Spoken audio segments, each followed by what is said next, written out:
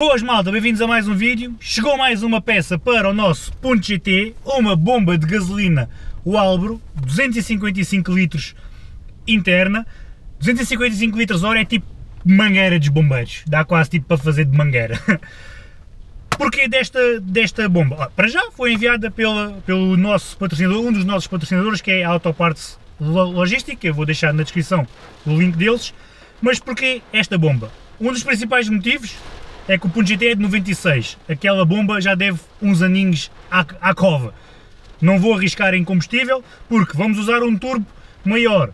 Vamos dar mais gota, eletrónica, blá, blá, blá, blá, blá. e se a bomba se cala e, e depois dá o pif. Como tal, eu tenho uma bomba destas no meu Honda, já foi do meu Honda atmosférico, do meu Honda Turbo, do primeiro setup, do segundo setup, do terceiro setup, já foi do meu K20 atmosférico e agora anda no meu K20 compressor e esta bomba é simplesmente a melhor ou das melhores bombas de gasolina. Vou-vos mostrar então como é que ela é. Traz proteções para arrebentar, serve só para arrebentar. Traz aqui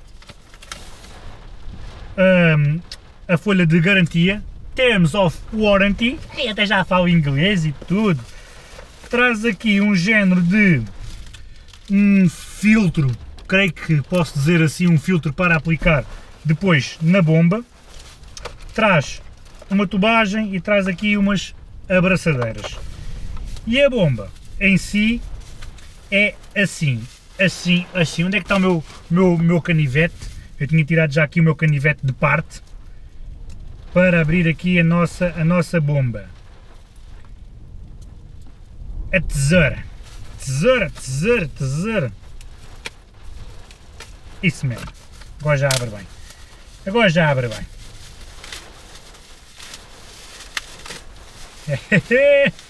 Vai dar gasolina, dá-me gasolina. Aqui está ela, a nossa Walbro 255 litros hora também vem toda gordurosa, está toda gordurosa. Aqui está ela, Made in USA, o Albro, original, lembrando que esta é original, não é réplica de chineses, e hum, vai ser aplicada no nosso ponto GT. Ahá! Bomba de gasolina! Mais uma vez repito, vocês que desacreditavam no projeto do ponto GT, que disseram muitas vezes, ah pá, devias ter comprado outro carro, isso não vai andar nada, é só problemas. O que é que eu sempre vos disse? Calma, relaxa, que encaixa.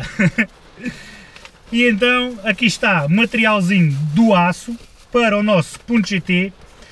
Mais um, uma peça para o nosso amigo Eduardo do OX Motorsport montar e pôr o ponto GT a dar gás. Já não falta tudo.